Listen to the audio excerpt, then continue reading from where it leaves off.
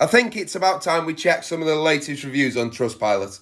So obviously we are up to 4.8, which is overall 5 stars and an excellent rating. But let's see what the latest reviews said. Unreal Service was skeptical at first as it was my first foray into buying. Great word.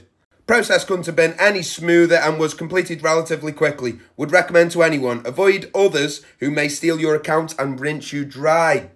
Great words. And then Lackey below said, give four stars and decent. Four stars and decent.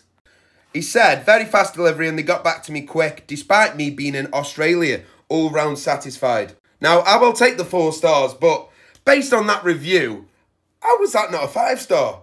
Anyway, we move on. Jack said, Great service, received my coins quickly. They responded to my questions on TikTok too, which is class. We'll be buying again in future.